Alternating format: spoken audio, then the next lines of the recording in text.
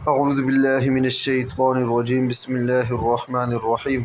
अगर किसी की दुकान, दफ्तर या कारोबार पर बंदिश कर दी गई हो, या किसी वजह से कारोबार ना चलता हो, लाख कोशिश और मेहनत से भी कारोबार में तरक्की नहीं होती तो इस अमल को इस्तेमाल में लाएँ। अल्लाह ताला के हुक्म से गैबी इसबाब पैदा होंगे और कारोबार में खूब तरक्की होगी। तरकीब अमल कुछ इस तरह है कि सफ़ेद कागज़ के 24 अलग अलग टुकड़ों पर ये जो आप अपने मोबाइल की स्क्रीन पर नक्श देख रहे हैं, तहरीर करें। नक्श लिखने का कोई मखसूस वक़्त नहीं, जब भी चाहें लिख सकते हैं। आप 24 लिखें, अगर किसी में ताकत ज़्यादा है।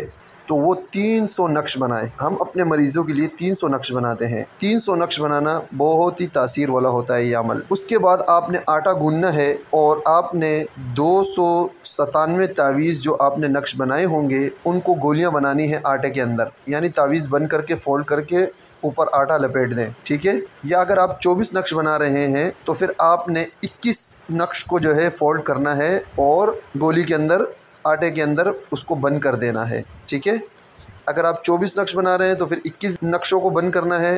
अगर आप 300 बना रहे हैं तो फिर आपने दो सौ सतानवे नक्श बंद करने हैं आटे के अंदर। उसके बाद उन पर आपने सूर्य मुजम्मिल पढ़नी है।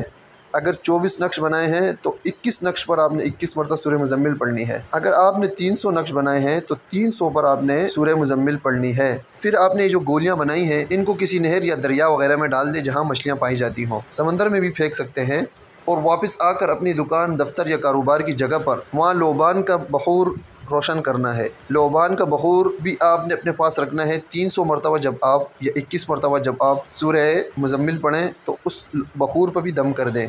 बाकी जो तीन नक्श हैं आपके पास उनमें से एक को दुकान या दफ्तर के अंदर बिल्कुल सामने ऊँची जगह पर जहाँ आने और जाने वालों की नज़र पड़े लगा देना है। बाकी दो को दाएँ बाएँ तरफ़ की दीवारों पर बुलंद जगह पर आवेजा कर देना है ठीक है? अब वहाँ बैठकर आपने जो है सूर्य मुजम्मिल ग्यारह मरतबा पढ़नी है। सूर्य मुजम्मिल ग्यारह मरतबा पढ़ लें इन जो भी बंदिश होगी जो भी मसला होगा सब का सब ख़त्म हो जाएगा। और आप जब दूर मुजम्मिल पढ़ें ग्यारह मरतबा तो पानी के गिलास पर भी दम कर दें और वो दुकान के चारों कोनों पर छिड़क दें। इन बंदिश फ़ौरन टूट जाएगी और आपका कारोबार ज़बरदस्त चलेगा।